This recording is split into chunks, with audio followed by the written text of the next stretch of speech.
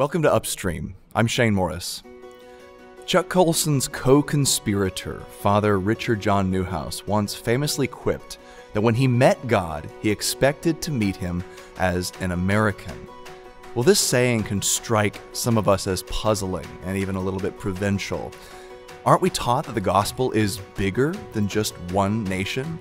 Isn't that what Paul writes in Galatians 3 that there is neither Jew nor Greek, for we are all one in Christ Jesus?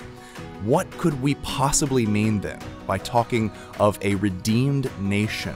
Where does the Bible say that God is in the business of saving nations or of preserving national identity? Can God redeem this nation, America? Does he even want to? And what would that look like? That's what I want to talk with Os Guinness today about on Upstream. Um, he's a very special guest. He's the author and social critic at the center of just so many uh, exciting and helpful books. He's actually the great, great, great, three greats, right? Grandson of Dublin brewer Arthur Guinness and the author of numerous books, including The Call, The Time for Truth, Unspeakable, A Free People's Suicide, and The Magna Carta of Humanity. He holds a doctorate of philosophy and social science from Oriel College, Oxford, and he's been a regular speaker at the Colson Center's annual Wilberforce Weekend conferences for years now. Today, we're recording in person at the 2022 Wilberforce Weekend in Orlando, Florida. Os Guinness, welcome to Upstream. Thanks for having me, Shane. Great privilege. How do you think most people hear Father Neuhaus's statement, and what do you think he actually meant by it? Well, I think it's unexceptional. We're going to meet the Lord as we are. Some people will be Americans and some Chinese. Some will be right handed, some left handed. Some will be short, some will be tall. We're going to meet the Lord as we are.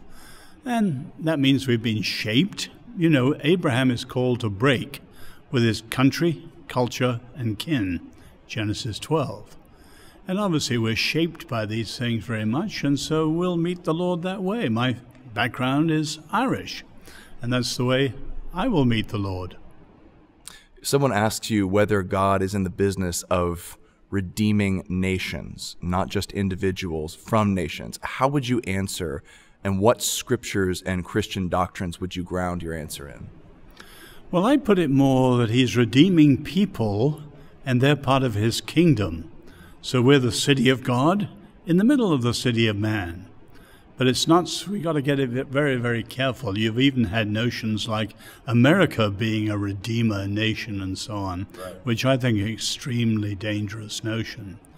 But we've got to wrestle with the fact of redeeming because America now has a very simple problem the record, the history of slavery and racism and the unaddressed guilt is swilling around, not just in the broad culture, where it's open to exploitation by the radical left, but also in the church.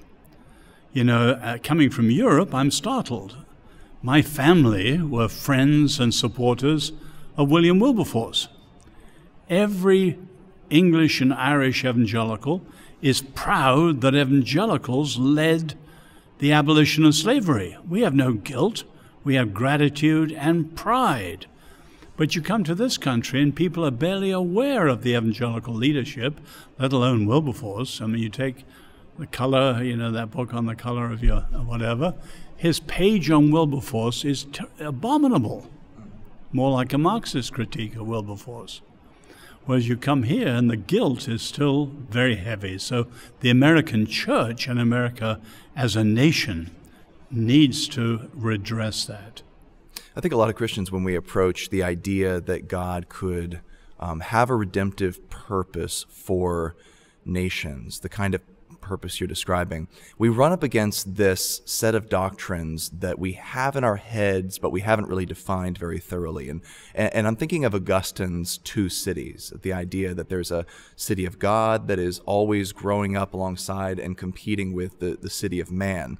And we, we tend to conflate nations with the city of man. Is that a valid way to look at it, or is that not what Augustine means? And then how would we relate that to another concept like the two kingdoms um, in, say, Luther's theology? Well, I put it more that American evangelicals in particular have made redemption individual and spiritual. Whereas clearly, if you go back to the beginning, say Yom Kippur, the Day of Atonement, it is instituted because of Israel's offense with the golden calf. So undoubtedly, it has an individual element too, people making their guilt offerings through sacrifice. But it was the nation as a whole that needed atoning in Israel. And certainly America needs to consider it very seriously in terms of the nation. As Americans, you know, you're saying this, as Americans, we um, have this paradoxical national pride, but also this hyper individualism, right? We're, we're just such an individualistic people. We think of ourselves as um, sort of don't tread on me loners, right? And that makes it hard for us to grasp the concept of communal responsibility, the idea that we could be um, corporately responsible as a nation for good things and bad things alike, that there's an identity that sort of encompasses all of us. And so we read words from even some of our great leaders. I'm, thinking of Abraham Lincoln, for example, and he speaks in these very communal terms as if the nation itself is guilty of slavery, as if the nation itself is um, being dealt with in some kind of providential way over the course of the Civil War. How would you describe the correct way to um, to parse out corporate responsibility, and what are some of the pitfalls we need to look out there look out for there? I'm not sure I could disagree. You take a theologian to do that properly. But I would just say Americans flatter themselves as rugged individualists. From the outside, you're equally a nation of conformists. And you know the idea, say, of Rene Girard and many others, that at the heart of things is mimesis. We not only desire, we desire what other people desire. So the whole of American advertising is based on that getting people to desire what other people desire and therefore buy it. But the same is true in politics. You know, the I often say, you know, the old saying, "Damn the polls, think for yourself." Mm-hmm. You know, if you see 51%, maybe we're on the wrong side of history. Now, that sort of thinking, Americans are incredibly other directed. So you've got to recognize that. Some are ruggedly individualistic, but actually, many, many Americans are highly conformist and they join in with the crowds. And that's very much part of what's happening, say, with the radical left today and even the opposition to it. So we've got to be careful. Now, as Christians, we're called to be salt and light. So, regardless of whether we're a minority or whether we're a majority, we shape the consensus you know, we are a creative minority. That's what Arnold Toynbee used to call it, a creative minority. And any culture depends on that. So when the gospel is really salty and light bearing, it can produce a Christian consensus and a Christian nation to some extent. Now, you look at any one of us individually, we are the embodiment, for better or worse, of our faith in Jesus. Now, sometimes it's for the better you take people we admire, like John Paul II, or people we are uh, embarrassed by. Take the scandals that are happening currently. In other words, we are individually an embodiment of the faith that we espouse, but so is a culture. And so, what is Western civilization? It's basically the product of Christendom, for better or worse. Obviously, in some places, it's done incredibly well. In other places, it's done incredibly badly. But the fact that Christendom failed is no more bad than, say, an individual suffering scandal. And so we've got to recognize that. We're all an embodiment of something, for better or worse. We better make sure that we bring glory to the Lord's name by the way we live and not shame. You know, the biblical word is to profane. You profane my name by the way you live unjustly, for example. We've got to bring glory to his name by the way we live well, by embodying the faith well. But that's individual and collective. you, you use the term Christian nation, and that's one that's been kind of in dispute in recent years. I remember, you know, uh, President Barack Obama said that we're no longer a Christian nation, uh, and I think he added, "if we if we ever were." Right? What does, in the American context, especially, and, and as an outside observer um, of the whole American project, um, what does Christian nation mean well, for up, Americans? Shane. Back up. Just take the notion nation before you talk sure. Christian nation. In other words, I follow George Orwell roughly. Patriotism is good. We all live in a place which we love, and that's right. We need a place. The Wendell Berry style. That's patriotism, and you can love a place. It doesn't mean you don't see its faults, but there's a proper love of a place. That's patriotism. Nationalism is the idolatry of that, and that's very dangerous because that becomes an alternative to the Lord. But add another dimension, which many of our Christian scholars don't when they make accusations like Christian national. And that is, in the old days, nation was a threat to local. Today, global is a threat to both the local and the nation. And so many of those scholars who hate nationalism are actually reflecting an unwise globalism without thinking about it. So, bizarrely, I've been accused of being a Christian nationalist because I defend America. I'm not American even. But that's absurd. I think I do defend the best of America rooted in the Sinai Revolution from Exodus. But I'm not American, and it's certainly not a. I've written on civil religion, which is idolatry. And so I do think Lincoln went overboard sometimes, the way he put it. But you can see that when Calvin put covenant and then Zwingli and Bullinger and Knox, that notion became constitution. So Americans ought to know their history because the American Revolution owes everything to Exodus. And it's the richness of that we've lost today. So Constitution today is only law. And you can see how, you know, even the Supreme Court protesters now saying, abort the court. That is a cute little slogan to them, but it's a disaster because it undermines constitutional understanding and covenantal understanding. And Christians should be standing for it and realizing where it comes from. And it's much, much richer than just law and law courts. Let me challenge you or push you on this idea that the U.S. Constitution is a covenant, because one of the defining features of the U.S. Constitution is its lack of an established religion. So never is a church named or no, set no, up. That, that, that, that's not what we're talking about. The Jewish covenant was a covenant with God as a partner. Right. The American one at best is we the people. It's still a covenant because you can trace how that the Mayflower Compact was a covenant. John Winthrop on the Arbella was talking about covenant. When John Adams wrote the first written constitution in the U.S., the Commonwealth of Massachusetts, what did he call it? A covenant. That idea is there. Now, the American Constitution, at best, is under God, not with God. So, of course, America is not formally, officially, nationally an established Christian country, of course. But still, the notion of constitution comes from covenant. I see. So it's a it's a covenant with one another, not a covenant with God. But you said it's under God. And we we do see that terminology in a lot of American, you know, imagery and um, and and our phrasing of our national identity and so forth. What is that? As an outsider, what would you say that means under God? Well, Lincoln introduced it, and he got it from the preface to the King James Bible. And it meant just that, that God was the Lord finally over everything.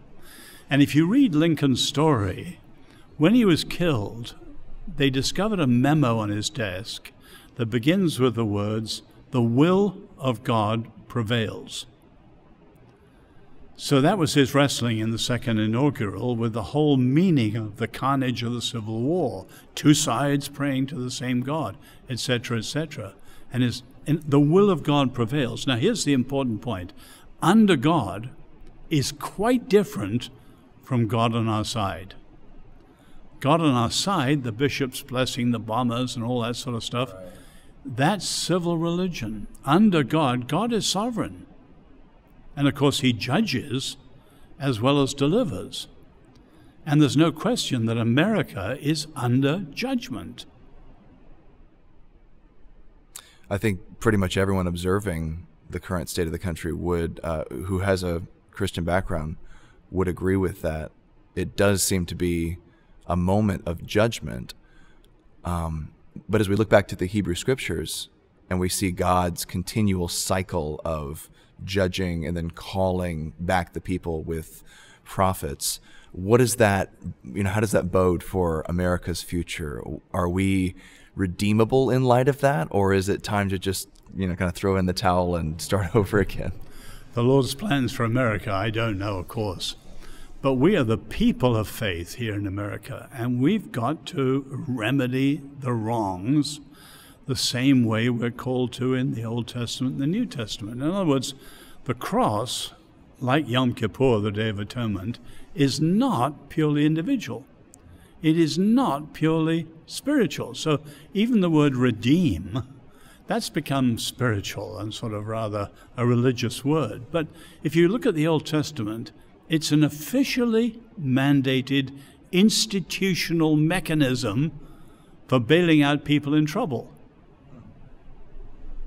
They were redeemed by their kinsman redeemer, and he had a legal, social responsibility to rescue his cousins or whoever it was. And it, it, was the Jewish way of making sure that people didn't slip through the safety net. It was a redeemer. And we've made it so super spiritual it's lost any toughness today. The same is true of atonement. Can Christians and Jews in America seek atonement? Well, they must, they can, and we've got to show them the way. In several of your books, you draw this sharp contrast between uh, a number of different revolutions, and you kind of identify them by their dates, right? So there's the American Revolution, or there's the English revolution, right? There's the American, the Russian, and the Chinese. And we look at these historically, and, and it's the French. E- yeah, yeah, right. The French Revolution, and we look at these historically, and we say, um, you know, these are all fights for freedom against the old or you the ancien regime, you know, the old way of doing things. Um, but you see a very, very sharp contrast between the first two and the latter revolutions. D- explain that for me. Well, people delight in the difference between the first two. The English failed, it's called the lost cause. The American obviously succeeded. But they're both not only English speaking, they're both rooted ultimately in Exodus. And that's the link. In other words, they're biblically rooted. And as I said, you know, takes other, I, I, we talked about freedom or separation of powers, checks and balances, all these things. The, uh, they're all there in Exodus. The consent of the governed comes from Exodus. You could go on down the line. Whereas the French, supremely, and then following it, the Russian and the Chinese, are anti Christian, anti biblical, and anti religious. You know, so Solzhenitsyn used to say that hatred of God and animosity to God is more essential and basic to, say, the radical left than even their politics and their economics. So we've got to be very, very careful when we look at the radical left today. There's an awful lot of naivety in the church about where the radical left comes from.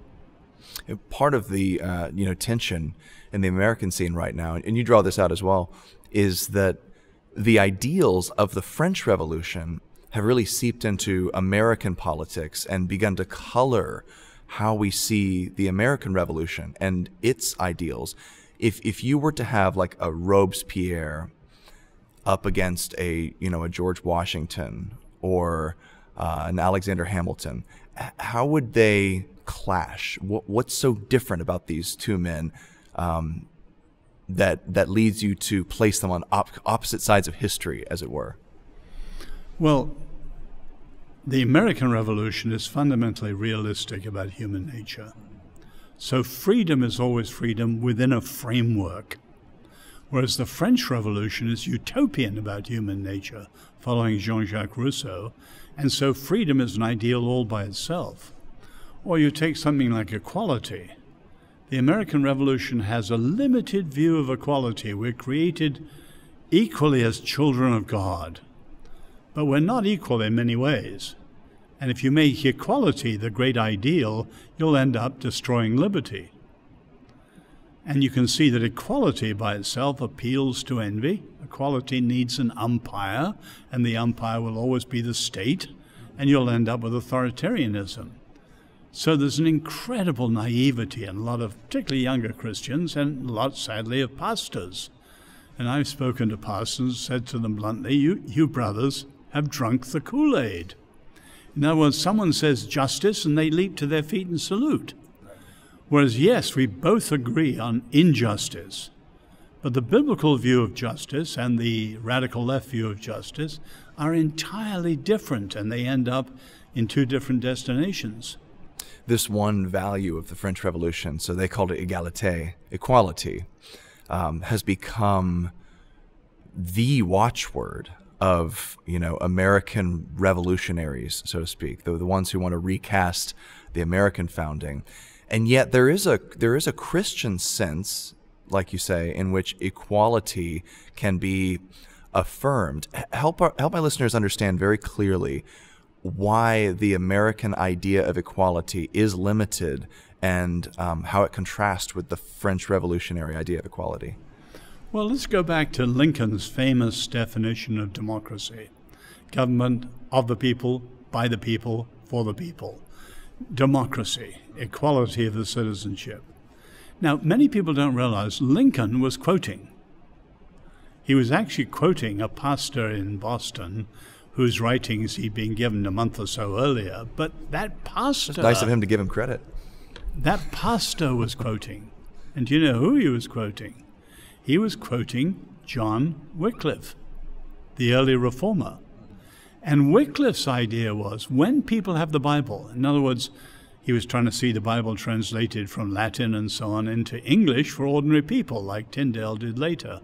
But when people have the Bible, they will have the basis of government by the people, for the people, and so on.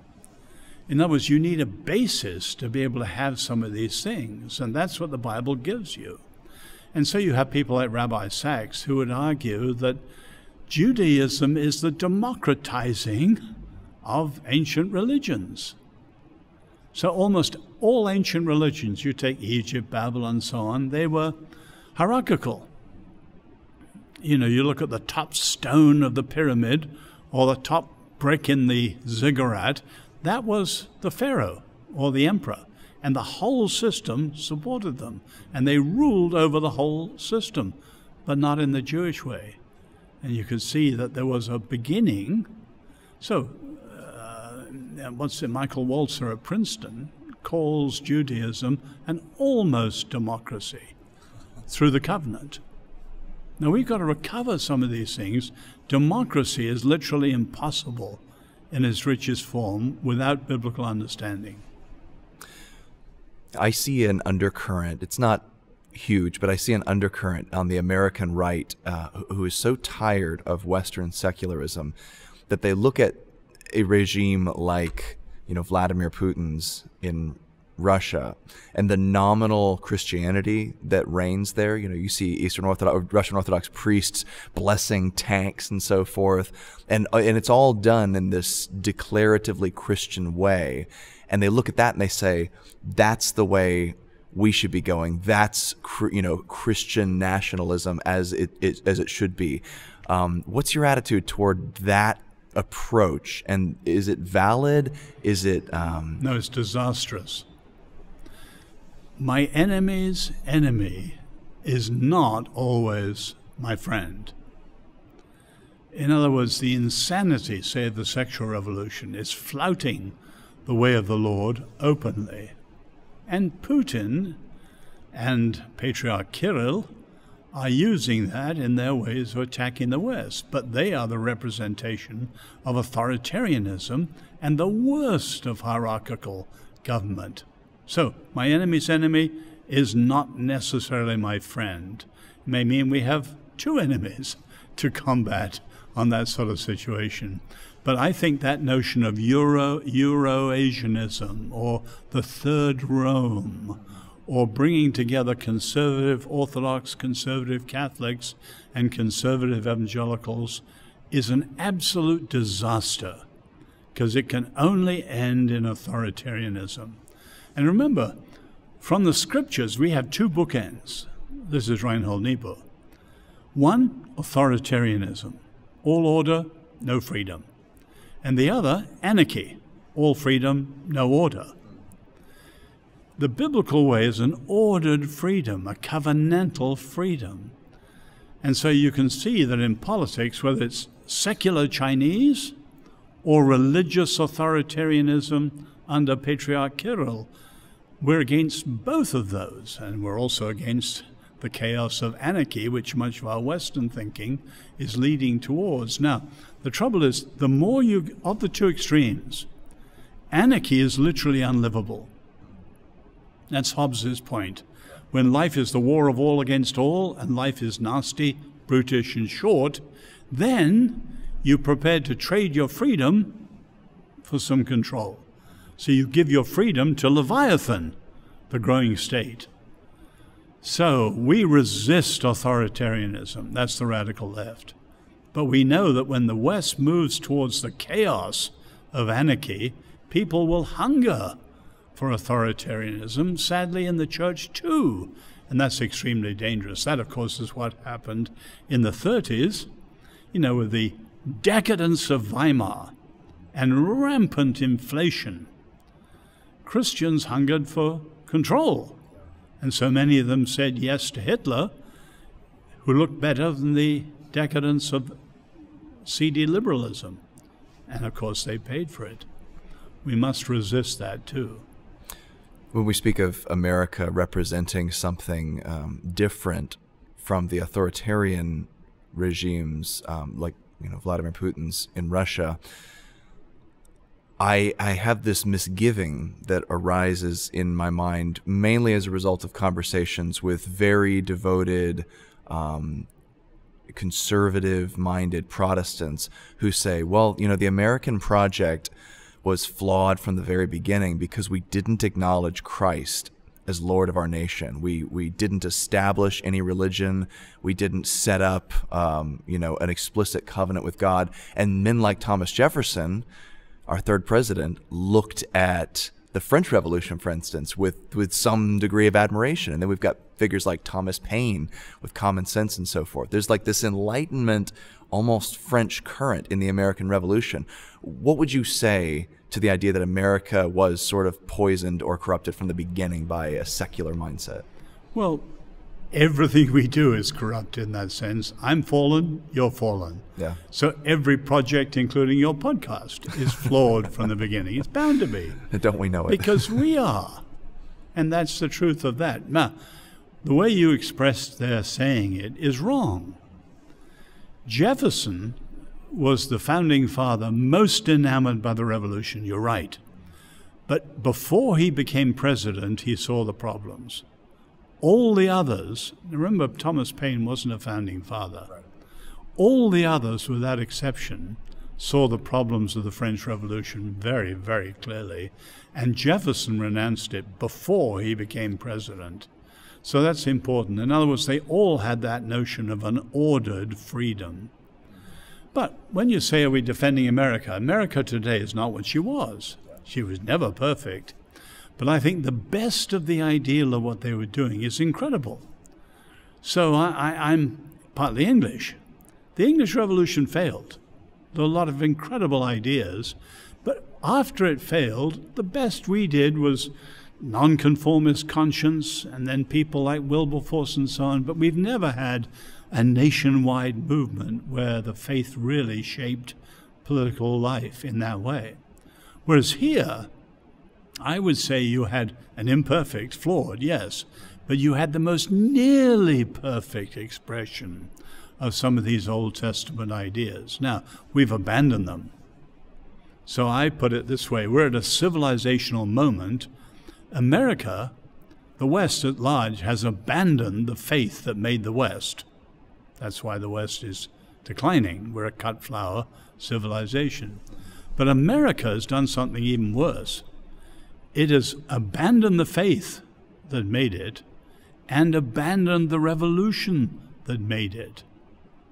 So America is going downhill very rapidly. And with American freedom, you know, as many scholars point out, and I'm not a scholar, but they point out Europe always has something of tradition that holds you together. And it has social cohesion. If you live in a small village or a small town, there's much more accountability. America has no tradition, no social cohesion. Freedom, freedom, freedom, mobility, mobility. So when America goes to seed, America will go to seed very fast and very disastrously, and that's what we're seeing. You speak of the the West as having, you know, Christian underpinnings and having cut those off so that we are like a cut flower civilization. I just finished a, a couple of Chesterton's best known books. So, in um, Orthodoxy in particular, he refers to Europe as the faith, almost as if it's you know a European faith. And he, there's there's a sign, you know, the signs he recognizes that Christianity transcends Europe, but he also relates them very closely on a historical level. He's writing over 100 years ago. If he could see the way things are now, what do you think he would say about our civilization and, you know, this cut flower mm-hmm. idea? How, how, much time do we have yeah. left? Well, Chesterton was actually going along quoting, I think, Hilaire Belloc, who was the one who talked about the faith like that. And that's understandable. The West owes a lot to Greece and Rome and Israel. But what made the West was the conversion of the barbarian kingdoms from the 5th to the 10th century. So the West is the child of Christendom. And I don't just mean the Holy Roman Empire, I mean the Christian consensus over 2,000 years, including the Reformation. So the West owes everything to the gospel, but the Enlightenment rose up to knock that out and to claim to be the power. So if we had more time, I think our main challenge is Enlightenment secularism. But we've now got various movements. I call them the red wave, the black wave, the rainbow wave, and the gold wave, which are ideologies which are not only against the Christian faith, they're against the West. And that is the new thing you can see. There is a Western war on the West. Douglas Murray's latest book has picked up a little of that. That's why we're in such an extraordinary moment and why it's so important for Christians to let God be God and we have to live Christianly in this extraordinary hour. What do you think about the inevitability of decline thesis, the, the sort of idea that once you pass a juncture as a people, as a nation, there's just no going back. There's no redemption. Are we past that? Are we coming up to it? You've got two conflicting mentalities, and not even philosophies. You've got the master of history mentality. You know, we can always do it. We put a man on the moon, we can overcome this. And that optimism, the best is yet to be, and all that. Then you've got the monitors of the cycles, I call it, those who know all about Spengler and Toynbee and Sorokin and Rieff and people like this. Now, they tend, if you look at all the cycles of the rise and fall, you tend to be pessimistic. But that's not Christian either. In other words, Jewish and Christian faiths are unique because they believe in freedom, not fate.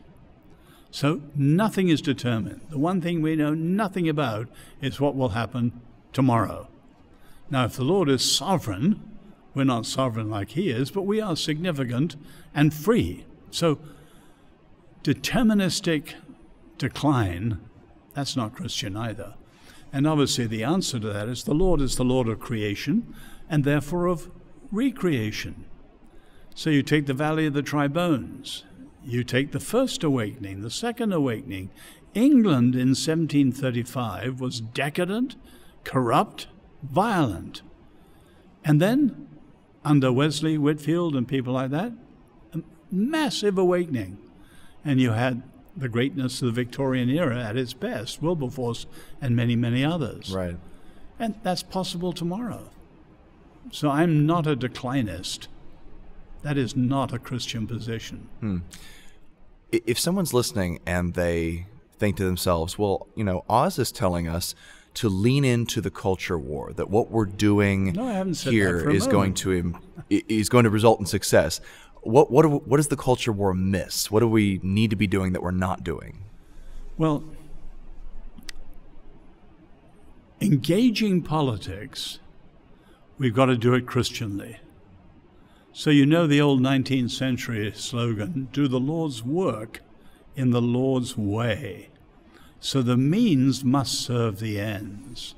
So, there's a thousand examples of that. But you take, say, the social media today, the biblical view of words words create worlds, words destroy worlds. So you've got to use words with great, great care and responsibility. But with the social media, brief, instantaneous, in reaction, emotionally responsive, you can see how many Christians in that very simple little thing alone are very unbiblical the way they're engaging public life. So the Reformation of America must include the Reformation of American language, which is vile at the moment. You know, I, I wrote a, a short series of op eds as letters to Mr. Trump if he was considering running again. And no paper would publish them, but one of them was on language. And I challenged him to ask his own son in law and daughter what the Orthodox view of words is. Because what Trump did was what's called evil speech in the Old Testament. And Christians have indulged in that. That's only one tiny thing. We've got to do the Lord's work in the Lord's way. And you can see people like Wilberforce were very, very different. So we've got great examples. You know, Wilberforce, Lord Shaftesbury, great politicians who had incredible impact and were deeply faithful the way they did their politics. Whereas, say, evangelicalism today has become toxic because we've shamed the name of the Lord by the way we've been politicized. Os, let me let me press you on that because I share a a real disappointment with the way that you know President Trump spoke and conducted himself and used you know language and the especially the power of the office, the bully pulpit. Um, but there are a lot of Christians out there who would look at the current state of the Supreme Court, right, and the likely overturning of Roe v. Wade, for instance, and say, well, see, you know, the means were worth it. And I'm not asking, you know, about voting for Trump or anything like that. That's not what this podcast is for. I'm asking about um, this idea that the means can corrupt the ends. How would you respond to someone who, who says, well, look, we're saving lives because we just don't care too much. We're not delicate enough to care about language and petty concerns like that. Yeah, now, what I'm saying about politicization is either side. So the never Trumpers were often as bad as the pro Trumpers. Now, whoever you support, you support critically. In other words, I know many people, I'm not American, so I didn't vote, but my own wife, she admired many, many of Trump's policies, infinitely better than President Biden's. But people who supported his policy should have said, Mr. President, make sure you're speaking the truth, no lies. He's a habitual liar. He's not the only one. You have people on the other side, chronic liars too, far too many in America. But they should have said, Mr. President, yes to this, yes to that, yes to the other. But uh, humility. You think of, say, Rick Warren's great opening line of his bestseller it's not about you. So, great leaders in the scriptures are servant leaders. And that was introduced not by the Buddhists through Greenleaf's idea, that came through Moses. I think 19 or 20 times he's called a servant. Pharaoh would never have been a servant. The whole of Egypt was there to serve him. Mr. President, you're serving America. It's not about you. And so Christians should have supported him but also had the guts to challenge him where he was very wrong. You are a, a, just a very strong advocate of the ideal of religious freedom, of, of the freedom of conscience, and you see that as a sort of special patrimony of the American experiment.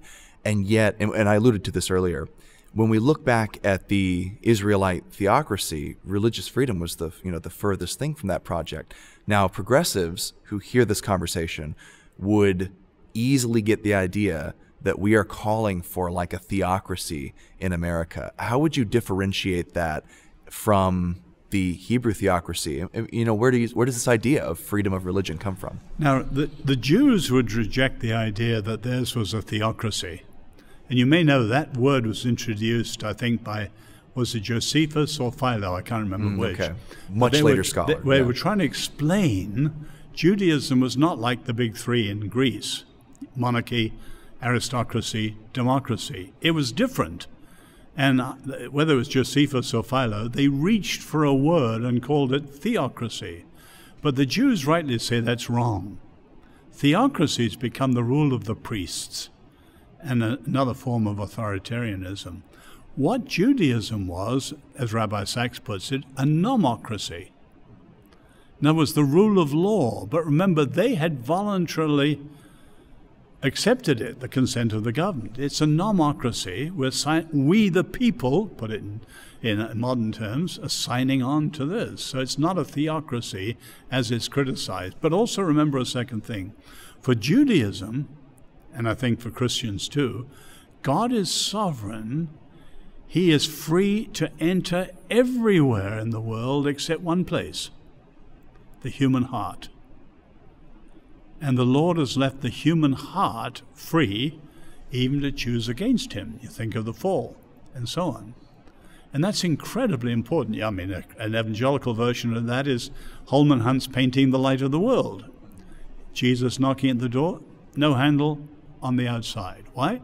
We are each free to make that choice in our heart. Now, freedom of conscience is the inner forum of absolute freedom.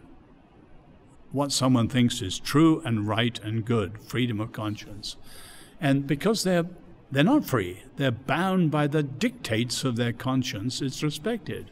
So when you have freedom of conscience, the inner forum, and then you have a civil public square in public life, you have the two forums that are essential for genuine free societies. And that's why I defend it. Now we've got to fill it out. Yeah. As we we're coming to the end of our time here, Os, and I, I've really enjoyed this. I mean, we were just running down every rabbit trail imaginable because there's so many questions I have for you. But as as we close here, I'm thinking of the story of Abraham and uh, Sodom and Gomorrah and his intercession on behalf of those cities. And obviously, those are, you know, like spectacularly wicked cities, and we get a little taste of how wicked they are. But there are certain parallels, and you can point to them and say, that's similar to what's happening here. That reminds me of our the state of our culture and our civilization. And yet God in his mercy was willing to spare those cities of the plains for a very tiny number of righteous people if Abraham could find them. Do you think we can learn from that in our situation? And then how many people, now I'm not asking for exact number, but what should be our attitude toward this righteous minority um, and the hope that it gives our nation and in light of God's mercy? Mm-hmm. Well, you have the biblical notion of remnant, right through the Old Testament. And the Jews have a notion of the just men. I think if you have 12 just men, the world will be saved, and so on. Now, but I think the story of Abraham's important for another reason. You know, the Jews say, Why on earth did the Lord call Abraham? And we're not really told. You know the little old poem, How Odd of God to Choose the Jews which was once the shortest poem in the English language. The Bible barely tells us, except I think it's Genesis 17 or 19. It says, I've called Abraham that he, he may pass on generation to generation and represent my righteousness and justice. So, parenting and stands for justice are at the heart of what he was about. And when the Lord tells Abraham he's about to judge Sodom and Gomorrah, the Jews understand that he was inviting Abraham to take a stand on behalf of justice. Shall not the judge of all the earth do right? In other words, we who follow the Lord are called to be agents of justice, and we must be.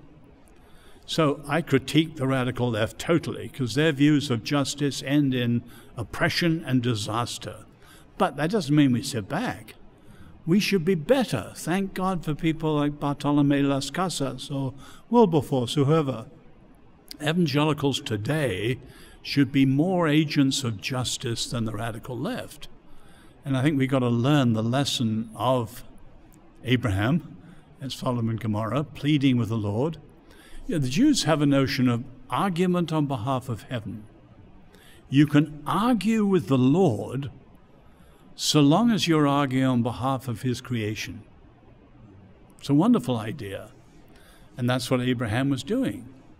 And we should do the same. So if you look in history, one of the great mysteries of history, why didn't humans speak against injustice and oppression?